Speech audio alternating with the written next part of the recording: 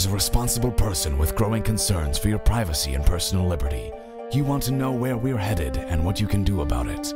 We ask the experts what you need to do to take prudent and responsible action to safeguard your family's wealth and well being, and what basic first steps will help you to be aware and prepared.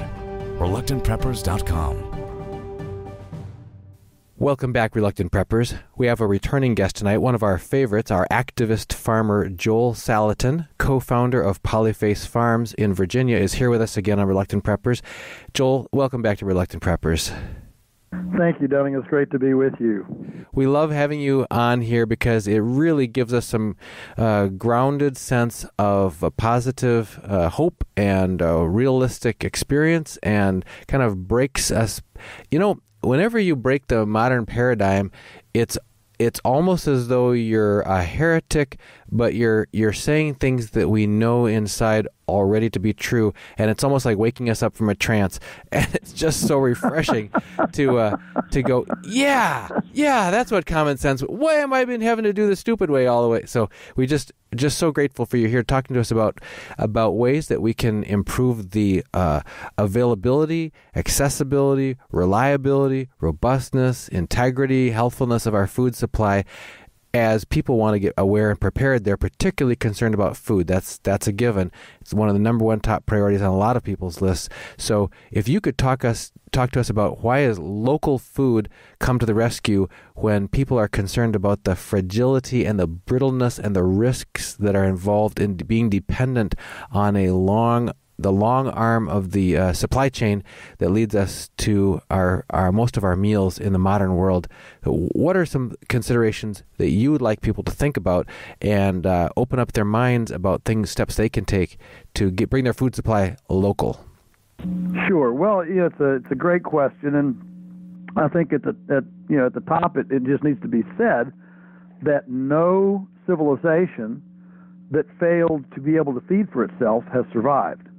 And I mean, we say that as a civilization, but the same thing as you move down, you know, to a state, to a locality, uh, to a region.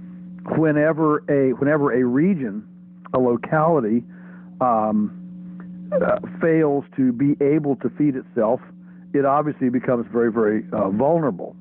And um, we have this idea that our you know abundant supermarkets are indicative of just uh, you know bulging uh, food supply, and uh, and they are if everything works smoothly. But you know if you think about what it takes to get um, an item into the grocery store, a lot of things have to fall into place for that chain to occur. Um, you know, many of the things that we get, of course, are, are, are from even foreign countries. And so that requires, of obviously, a functioning merchant marine. It makes sure the, the longshoremen aren't on strike. Uh, and, and of course, th- this is assuming that the food is, uh, you know, not tainted or not pathogenic, pathogenic or toxic or whatever. And then, you know, it, it goes into a, uh, a warehouse. Well, in the warehouse, there are, you know, mountains and mountains of stuff stored with people running around. I mean, even the, the, the threat of bioterrorism, of, of somebody tainting something in these mountains of food sitting there for months um, by, you know, being run by forklifts, nameless, faceless people uh, that then finally go on a, on a truck and go across the country. Uh, depends on, you know, uh, uh fuel, uh, trucking, um, workable roads. Uh, all those things have to be in place.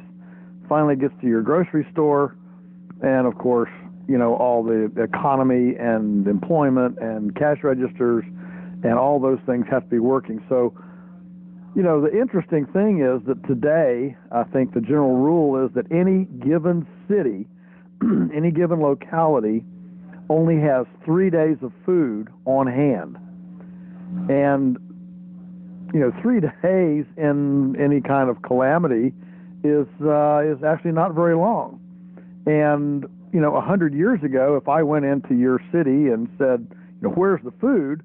Well, the food would have been in individual larders in homes. It would have been in pantries and root cellars and you know, uh, what was called the larder, which is you know where all the, the dried goods and and uh, you know a ham hanging up and that sort of thing were stored. Today, we don't even most people have never even heard the word larder, don't even know what it means, and the food is out at the grocery store. Sounds like it's bad for your artery system and your your heart. yeah, larder. Yeah, it sounds sounds like fat, doesn't it? Um, and you know, just look at what happens when there's a hurricane warning, uh, a blizzard, an ice storm. I mean, the the you know, next thing you know, the TV crews are in there showing these empty shelves, and and so this is actually the fact that we have exchanged our our domestic larder for the grocery store down the street is not indicative of of uh, security and progress. It's actually uh, indicative of almost uh, a, a, hubris, uh, you know, a faith in in ourselves that we can, you know, get along without uh, historically normal uh, procedures, and a faith in in this system that somehow this system is magically going to make everything appear. And so, uh, while while it's easy to think that we're in this new state of you know of, of euphoric plenty, we're actually in a new state of unprecedented vulnerability, and and you know that's that's important to important to understand, and and, and vulnerability not just to volume, but vulnerability to you know to tainting, to pathogenicity, to spoilage, to you know all these sorts of things, and and uh, you know this new language that we've all learned to say. Uh, these new words, you know, Campylobacter, Listeria, E. coli, Salmonella, these kinds of things that weren't even in the in the lexicon as as you know early as just 30 years ago, are now you know all over the place. So you know we haven't even we haven't even addressed the vulnerability of that. And so the the the, the truth is that when a locality is completely dependent on outside sources for food, that is a vulnerable locality. It doesn't matter whether it's in Phoenix or in Bangor, Maine, or in you know Hong Kong, or your or your little you know uh, town in uh, Iowa. Um, you can be surrounded by fertility, but you can't eat soil. So you have to eat what the soil produces and if your if your locality um, is is not producing you know edible stuff, then you know you're you're vulnerable. You mentioned uh, the the uh, tainting that can happen in long term storage. Ever since I was a kid and would visit supermarkets with my parents, and now as an adult as well, uh, I've noticed, and people check your own memories about this as you walk into the store or out of the store, especially if you ever duck past, like if they say, "Oh, where's the restroom? What's behind these these uh, hanging plastic flaps? You got to go in here and around there." If you ever get to see the back operation, or even if you think about it, sometimes down the main aisles, the foodstuffs being stored right alongside and up next to pesticides, uh, toxic chemicals, whether it's fertilizers or or household uh, cleaning chemicals or whatever, and just being intermixed. You can smell you can smell the uh, you know the uh, bug killers and the fertilizers in the same aisle, and right across they got the, the animal crackers or whatever, and it's just like uh, this is this is something that you have no visibility of. Uh, as a as a consumer, and yet this is part of the history of what you're bringing home and putting and feeding to your family. Sure, Cheerios and Cheerios and chlorine. You know, it's a it's a real um, super uh, combination. So, so so the truth the, the the truth of the matter is, if this is a if this is a vulnerable, fragile system, you know how does how does local few local systems you know save us from that? And so, you know, while it's true that if you're in you know if you live in Indianapolis chances are your locality is not going to grow bananas and coffee. I, I, I get that. And there's always going to be trade. Historically, you know, the spice trade, of course, you know, dominated um, uh, international trade uh, for for many years. Why? Because spices are extremely um, uh, valuable, and you know, a little bit goes a long way. and so you can, you know, you can transport stuff that's that's that concentrated or valuable, but you can't justify, you know, sending watermelons and squash and things uh, across the country. It's, it's transporting too much water. The stuff is like it's like, you know, hauling water across the country. So, um, so when I talk about local food systems, I'm not saying that uh, that you know you can't you can't eat anything that's not available in Right. the local area. But but if if you if you just brainstorm a minute and say, you know, and just close your eyes and imagine going down your local grocery store aisles, and you say, what could be grown here? You know, within a radius of just say 50 miles, what could be grown here? And the truth is that the lion's share of everything in there. I, I do this exercise with people all the time when I go out and speak at you know foodie conferences and things, and I just have them you know yell out to me. And and when at the end of the day, you know, except for Kleenex and diapers maybe, um, you know, and, and a few you know citrus and and uh, and coffee, but you know all the grains, uh, many of the fruits. Um, and and of course you know all of your dairy, all of your meat, all of your animal proteins, um, uh, pretty much all the vegetables. You know, this can all be grown locally, and it can be um, it, it, it can be no you, know, you can you can actually know where this stuff is. So as a you know as an individual person, as a family, um, if you actually have a relationship with somebody in the community who's growing this stuff, when things go south, or if things went south, uh, you would actually have something above, something better than stampeding to the grocery, being another one of thousands of people trying to break in the doors and and clean off whatever's in the shelves. You suddenly now can calmly um, uh, go out and visit your farmer or pick up the phone and give them a call. And how's your inventory? Are we okay? Blah blah blah. And especially if you've buy, been buying in bulk, like a half a beef or a half a hog, and you have you know some storage, some on-site storage, things like that. Um, you know, if you've been like canning some meat that doesn't require refrigeration, the power goes off, uh, whatever. You know, these these are things. These are things that a prudent person does. One of the most um, interesting uh, things that I've ever seen and, and, and, and have never forgotten it was down at Williamsburg um, in Virginia, next to Williamsburg, the Powhatan Village, and um, it's supposed to be a recreation of the way the Native American villages were, you know, when Chief Powhatan, Pocahontas, and all that kind of stuff was going on. And uh, you go there, and they've got these these uh, um, you know huts. Um, yeah, they're, they're not they're not teepees. You know, the the, the iconic, you know, Lakota Sioux uh, that followed the the bison Yeah, with sure. the you know the the the real straight triangular teepee. These are more kind of uh, um, squatty domes almost uh, with bent over saplings, bent over saplings and uh, buffalo hide uh, covering them, skins covering them, and just a hole in the center. You know, the the chimney was was quite a, a tremendous civilizational development. You know, to to get smoke up out of the house, out of your eyes, out of your lungs. And uh, anyway, smoke goes up in the and up in the lattice work of these things. Of course, they're all there are no nails, so all this lattice work is just lashed together with um, with cordage.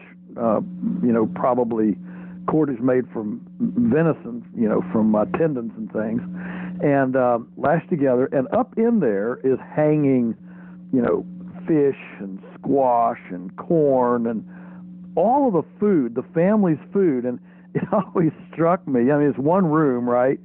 And so when you lie down at night with your beloved, and you're looking up into this, into the top, you're actually lying there looking up into your provisions.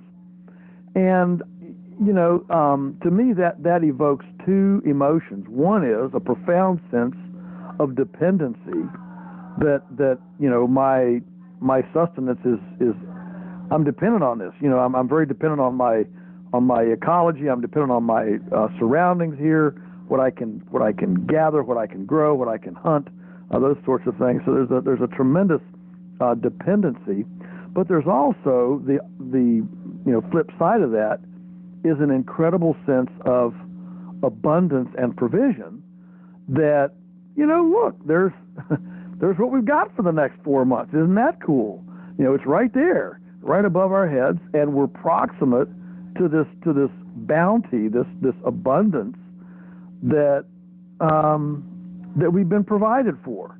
And I think there's a real, uh, almost a, a spiritual, um, a spiritual whatever uh, satiation there to the, the idea of going and, and lying down with your beloved and being that proximate to this storehouse of food.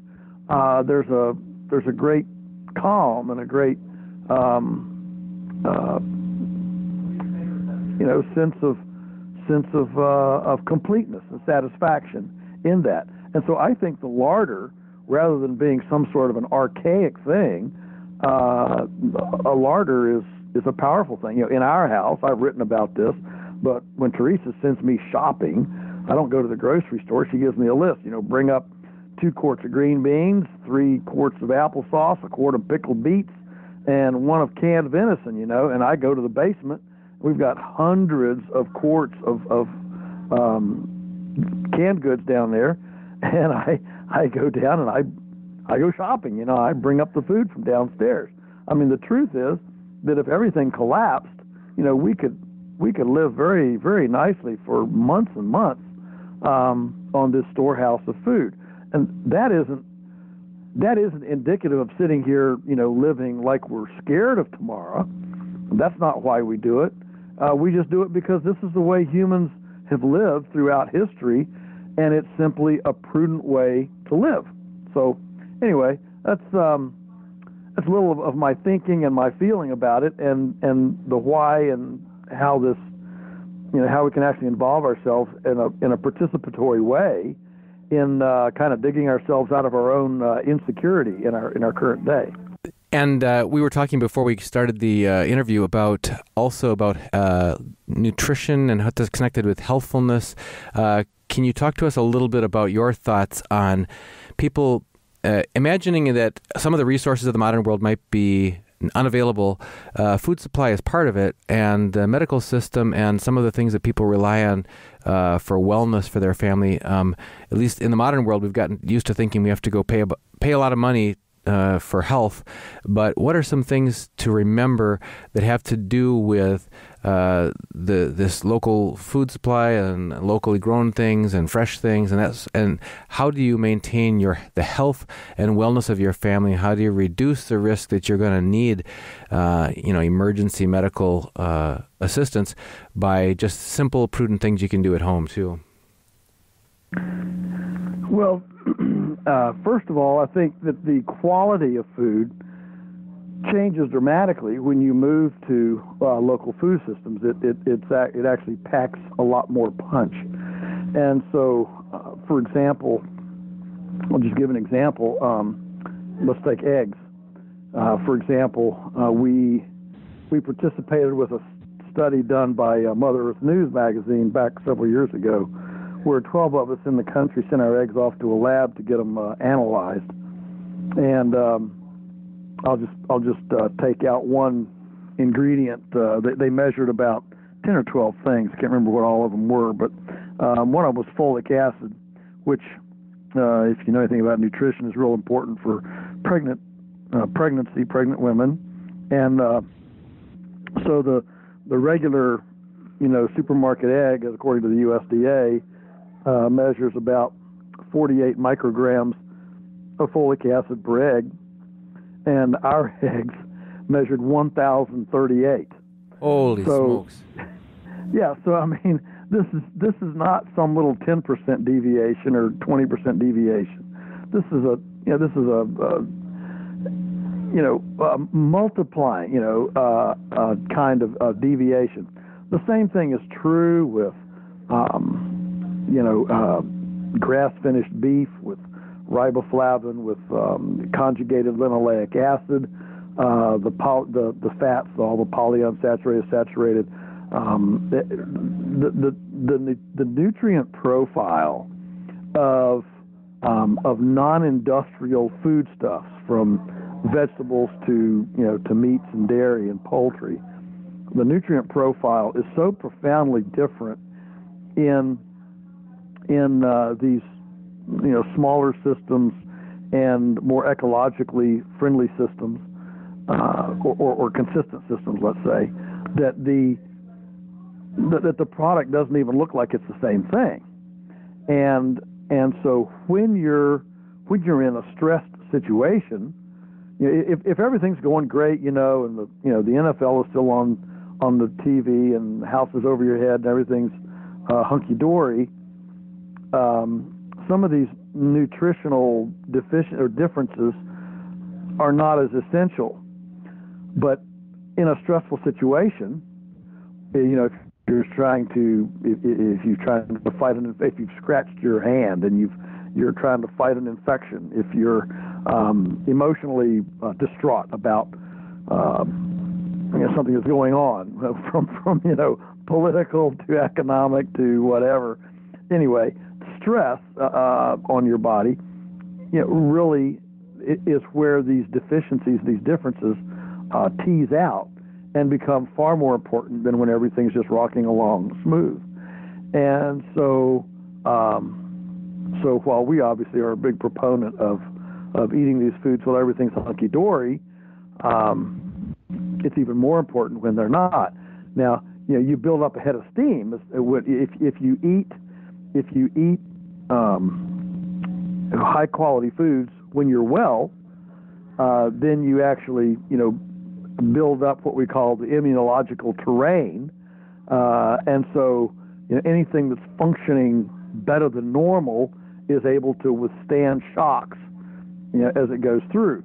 If you're already breaking down, then certainly you're not as able to you know to withstand shocks. And so, you know, one of the you know one of the uh, uh best things that people can do for health and wellness to prepare for a downturn, whatever that downturn may be, is to simply maintain your own uh, body's fuel at a very high plane of efficacy. And if if that if that body's plane of fuel is good and you're and you go into the whatever the crisis is, if you go into that crisis on a high plane of functionality, you have a lot better chance of withstanding whatever the shocks are if you go in with some, uh, you know, a little bit of um, um, wellness equity in your tank, if you will. You bet. Then, then if you know, then if you go in already having problems due to you know drinking three soda pops a day and smoking a pack of cigarettes and living on Cheerios and Cocoa Puffs and Velveeta. You know, that's an interesting aspect that I don't know that anyone we've talked with has mentioned over the past three and a half years we've been doing this. If I can just recap what, what you just said because it just stands out like a like a beacon here. Everybody talks about storing up supplies.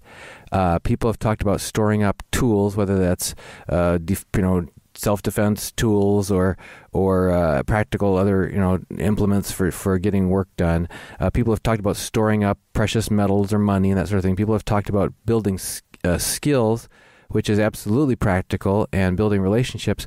But I think this is the first time we even had somebody talked about storing you know, emergency medical supplies. But this is the first time anybody's mentioned about a, a prepping or preparedness means storing up health and wellness in your body's uh, nutritional profile uh, of really being highly uh, uh, what I don't know how to say this exactly, but basically what you were saying about having a, very effective and uh, and robust nutritional uh, nutritionally sound body is one way of starting off any difficult situation rather than starting from a place of, of near depletion and uh, on the borderline of ill health that's very, very profound, and so simple, and so close to close to home.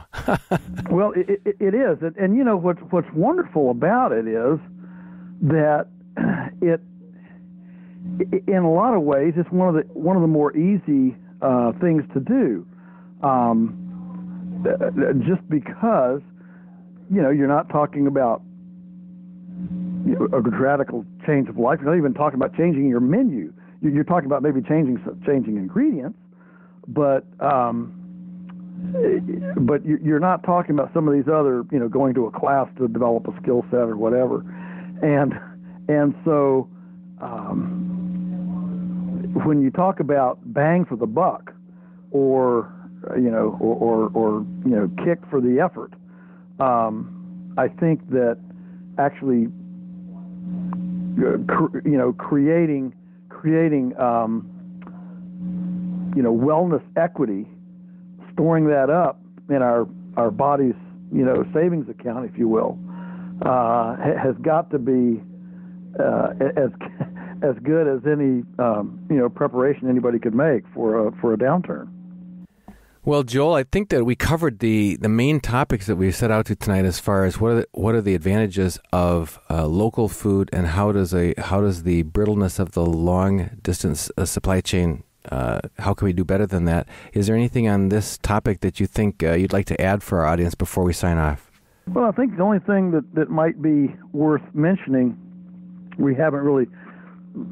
I think in times past we've talked about things that you can do for yourself, but I can't I can't help but just reiterate that here as we talk about local food. It's not just about uh, going and and and buying local food and knowing your local farmer it, it, it's also about doing for yourself what you can do. Now, some people, you know, are in a situation where it's, it's difficult to do much for yourself, but um, but those who can't, whether you have a, a, a from a postage stamp yard to a front patio to you know a southern a southern exposure on your house that you could build a little solarium on. I mean, this evening at, at, at dinner, you know, we're we're here, we're in Virginia. You know, last week we were ice skating on the pond, and uh, at dinner this evening we had fresh salad out of the garden that's under a um, uh, under a, a double layered cloak. And you know we've had we've had uh, we had two degrees last week, a couple nights. It's like we were uh, ice skating on the pond, but with this protective cover on it, the vegetables, the the greens, the salads in the garden um, were not killed now, they're not growing very fast, but they're not dead, and we're enjoying them right now. So there is a tremendous amount that a person can do when you, you know, when you really look at at food and nutrition close to home and realize that this is not some pie in the sky out in the space thing, but actually something that's very, very practical. And and when we realize that linked up to the practical aspect of, of storing up storing up health, um, it becomes even more you know even more practical and, and yields more interest, more dividends than uh, than just you know buying local. And again, as we've talked about as well, uh, where where I thought you might be going with this is you. It puts you in a position where you are you can be able to help others. You're these people that you're in relationships with. You mentioned knowing who your know your farmer, know your food um, these people that you're in relationships with, you can help each other. And by being a small time producer yourself, it, it gives you something to barter with uh, that maybe is different from what other people have as well. So you can help them as, as you get uh, help your family at the same time. So, well, Joel, uh, we just love having you on here, and we we'll have you back again if if we certainly can. And uh, just uh, thank you for making this work. I know you had some big storms there this week, and we had trouble getting our communications to work earlier, but we we circled back around and got it to work. So uh, just so grateful for having you back here with us again on Reluctant Preppers. Super. Thank you. It's an honor to be with you.